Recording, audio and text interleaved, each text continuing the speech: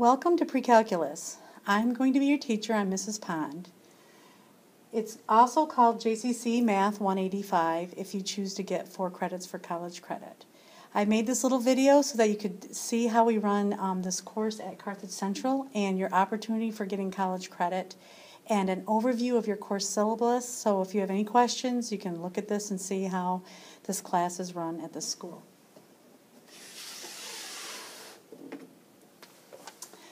Okay, the pre-calculus course at Carthage Central School is a full year course. That means you're in the class for the entire year. But we break it down into two sections. You need to stay in for the whole year to get a full credit. In the fall, I cover college algebra, and I go over, um, I practice some Algebra 2 trig review, and I also do some AccuPlacer prep, and I'll talk about AccuPlacer in a minute.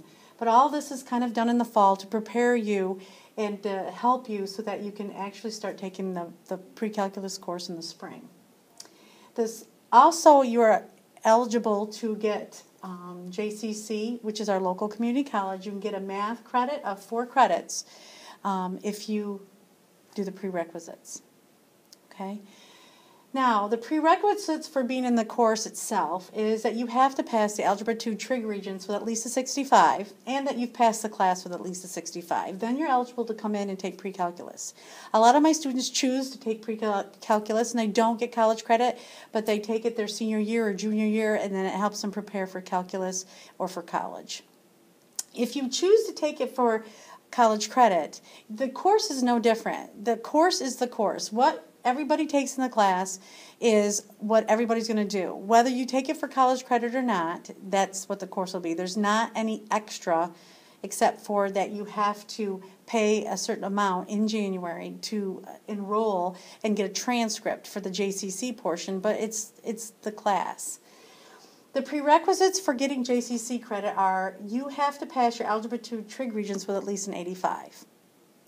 If you don't have that prerequisite and you would like to still be in pre-calculus, you can take an AccuPlacer, which is an online test that they use to determine your math skills.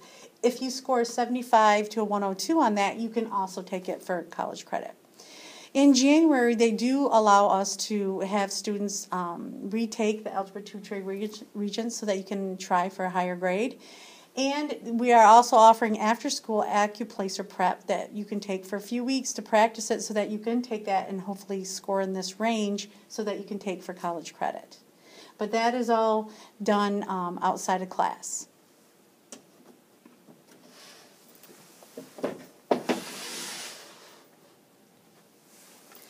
The course description.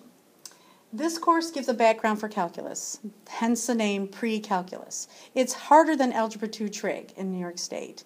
I do use a lot of those topics, but I do a lot more applications, um, word problems, and, and it's a lot of practice. It's a very good course for you to get a very good basis for calculus.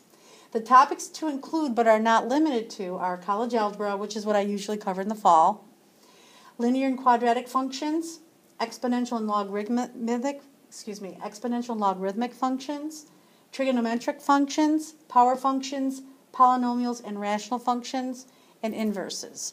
I sometimes in other years even get a little bit further and do matrices, um, but this is basically the topics that I've covered um, steadily throughout the years.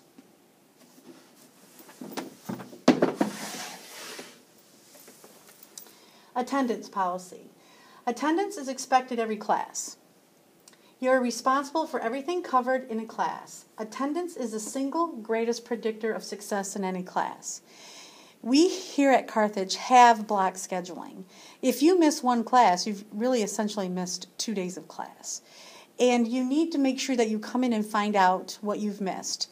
I have a lot of the videos of the topics online so you can watch those and take notes and come in and practice. But you need to come in after school and meet with me and make sure that you understand what's going on because it's very difficult to make that up.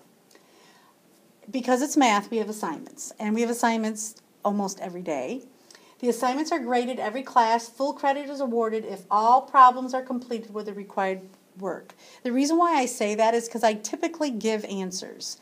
And I need to see how you obtain those answers to make sure that you're doing the work correctly. So if you just put your answers down, that doesn't help. I need to see how did you get that answer.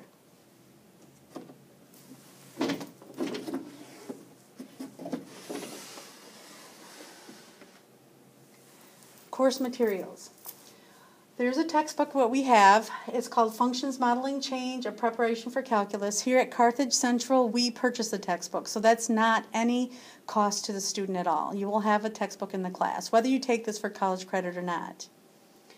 I expect you to buy two notebooks, a spiral notebook, but I want it exclusively for math. And it, it could be even a couple, three subject spiral notebook because you will fill it up doing your homework in it.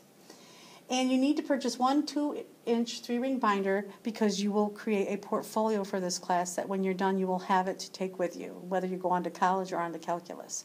I will talk more about a portfolio in another video, but these are the what you'll need. This definitely at the beginning of school, this you can wait a little bit because we'll start it a few weeks when school starts. And we also use TI-Nspire CX calculators. In all our classrooms here at Carthage, we um, have a full set of calculators for students to use during class, but you're going to need one, especially at this level, to have a calculator at home. If you have a TI 84 Plus, please don't run out and buy one, but make sure that you um, this is going to be different keystrokes than the one that you'll have at home, but you'll definitely need a graphing calculator at home. I hope this helps to show you what the course is like. Um, I will also be giving an, a, a course syllabus to all my students so they can look it through and if anyone has any questions, please give me a call.